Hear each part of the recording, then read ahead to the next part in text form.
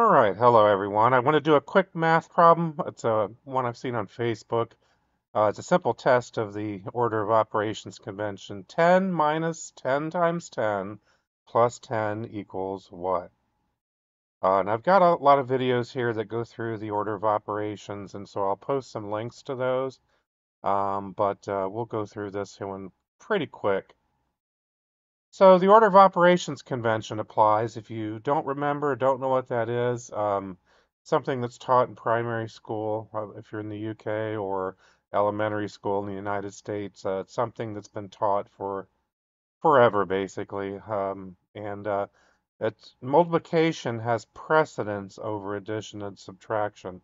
Remember, multiplication is just repeated addition. Um, so uh, it's kind of like a shorthand. You can think of it that way. So you need to solve multiplication before solving addition and subtraction.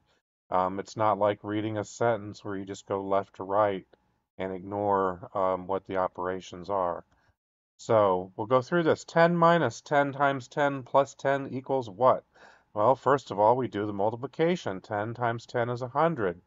Uh, now, some people get really confused here. Remember, you have a minus sign in front of that 10 times 10, so you're ending up with negative 100, or you're subtracting 100. Think of it either way. It doesn't doesn't matter. So it's 10 minus 100 plus 10. Um, and people will get a little confused even at this point, but 10 minus 100 you can see is minus 90. It's not positive 90.